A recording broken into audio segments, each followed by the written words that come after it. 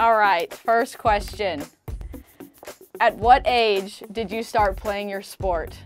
Um, I started playing when I was 12 because my sister played on her club team, so then I just played up on hers.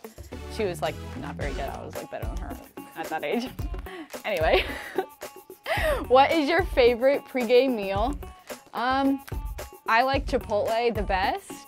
Um, you know, it doesn't really sit well with us during the game, but like we can have it for like dinner after the game and then breakfast the next morning. So it's like three meals in one. What is your favorite soft drink?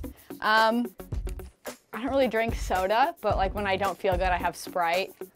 I like Sprite when I don't feel good, okay. what is your signature dance move? All right, here we go. Move this out of the way. Okay, ready? Oh yeah. Mm. Uh, we call it the cursed dance move. She made it up. Okay. Thank you. Next. Choose two teammates to start a band with.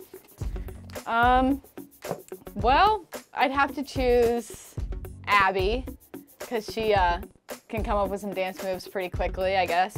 She'd be really good at that last question. Um, and Olivia because she's a good singer. And then me, I don't know how I'd do. I'm just already in the band.